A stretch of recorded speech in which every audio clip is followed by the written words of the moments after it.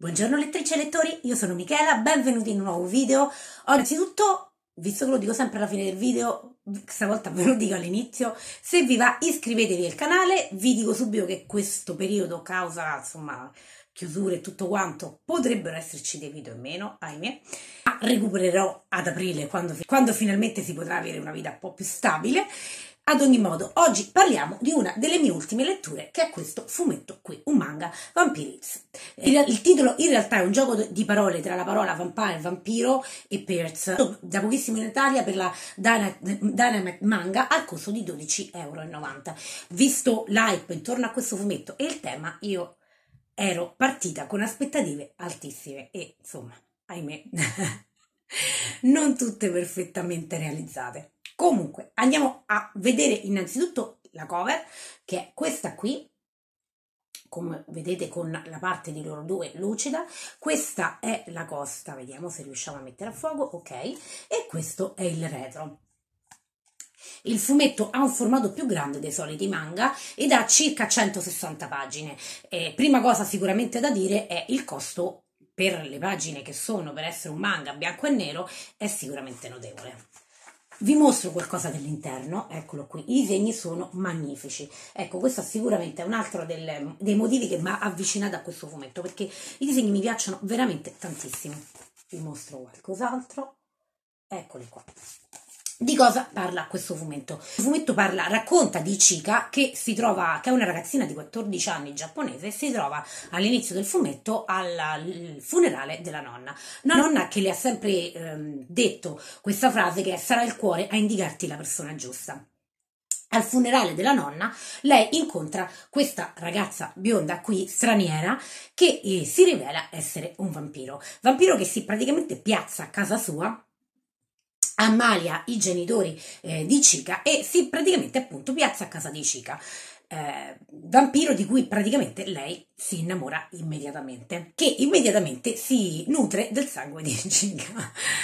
La, questa è l'incipit della storia. Ichiga in realtà non sa molto di questa, di, questo, di questa ragazza, di questo vampiro, se non che è evidente che nasconde dei segreti. Questo è chiaro, malgrado le dica subito di essere un vampiro, eh, fin da subito si capisce che questa ragazza appunto nasconde, che questo vampiro nasconde eh, decisamente dei segreti. L'idea di base, sapete insomma chi mi segue sa che io sono amante dei vampiri, quindi l'idea di base mi piaceva tantissimo. Eh, parte anche da con un po' di stereotipi, però li, eh, li, propone in maniera sicuramente nuova e anche molto divertente al lettore. Quindi tutta la prima parte mi è piaciuta molto, proprio perché, malgrado appunto parte da scene comunque viste e riviste all'interno delle dinamiche del, de, de duo oh, essere umano-vampiro, eh, però lo fa sicuramente in maniera nuova e divertente. Cosa mi ha convinto meno di questo fumetto?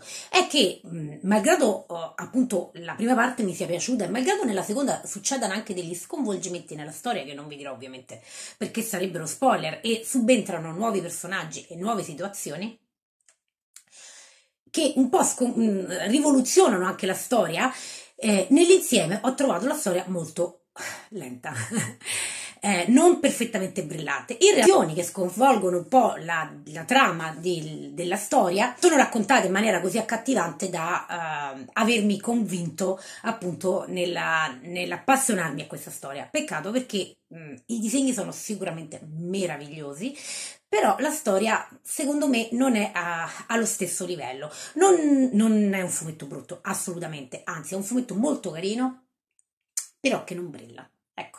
Mettiamola così.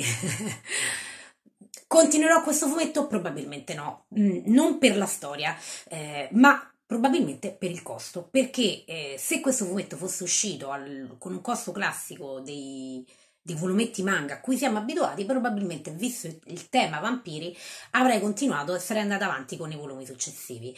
Avendo un costo secondo me notevole, perché insomma abbiamo 160 pagine circa per praticamente 13 euro, è un libricino senza neanche sovraccoperta né niente e non andrò avanti con la lettura.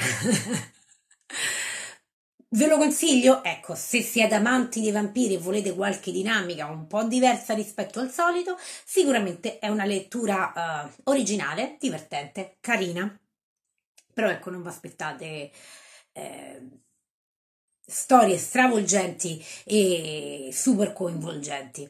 Peccato, eh, probabilmente, sicuramente questo fumetto si riprenderà con i successivi e sicuramente migliorerà perché le premesse, soprattutto sul finale, ci sono tutte per rendere la storia più, più accattivante per il lettore.